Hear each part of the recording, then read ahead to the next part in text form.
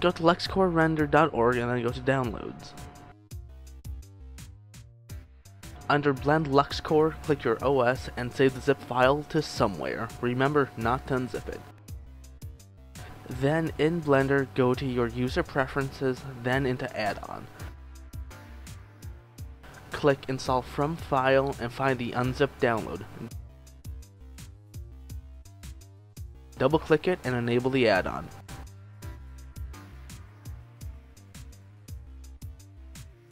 Now, it's epic start time, my lad. If we go into the render tab and look at our render engines, there it is. Yeah boy Lux. Now that we've switched to Lux, our rendered viewport should look like this. If yours doesn't, then oof. You need to rewind a bit or ask me in the comments, I'll be there. After we've added some stuff to our scene, we can add in the Lux materials. Go to your materials tab and add a new material. Open the shader editor and then click show nodes. Click Disney for the principal shader. A. Now add in a texture, multiple images, and then find your desired material.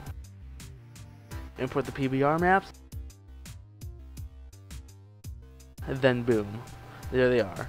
Color to color, roughness to roughness, and because the normal map is a normal map, click normal map. And then connect the bump to bump. We also click this neat little thing to add in a 2D UV mapping node. Connect all the maps to the mapping node. Bazinga, concrete. We can make the concrete small add in a metal material too. Hit that roughness for good measure. Also, in the Scene World tab, we can add in an HDRI and import our entire freaking galaxy. Now is where it gets interesting, my lads. New material, Disney, right? Well, if we look down here, we can see an emission thingy with an add button. Boom. Absolute unit of an emission node with actual absolute units of emission. I mean, artistic is there if you like eyeballing the lights, but there's also power, lumina, and candela if you know exactly how bright a particular light is and want to be accurate.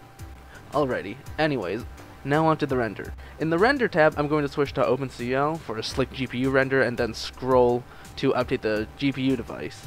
And also disable the CPU since it's not being used in the render. Also, enable the denoiser. And onto the render.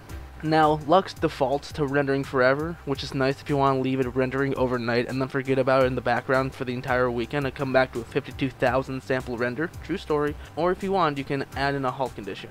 We can also have Lux stop rendering after a certain amount of time or a certain amount of samples. Also, you can denoise the render whenever you'd like, uh, without cancelling it by pressing refresh denoiser. After it's done denoising, it'll go back to rendering and you can see how far it is. And that's about it. That's everything you need to know in order to get started with LuxCore Render. Of course, there's a lot that I did not go over that you probably saw and wondered about, but that's all pretty easy to figure out on your own, and this video was mostly meant to get you started with the engine. But there will be more Lux content and tutorials on this channel. It's honestly my favorite render engine. And if you want to see that, you can subscribe. Otherwise, I'm CGX. Stay epic. See ya, lads.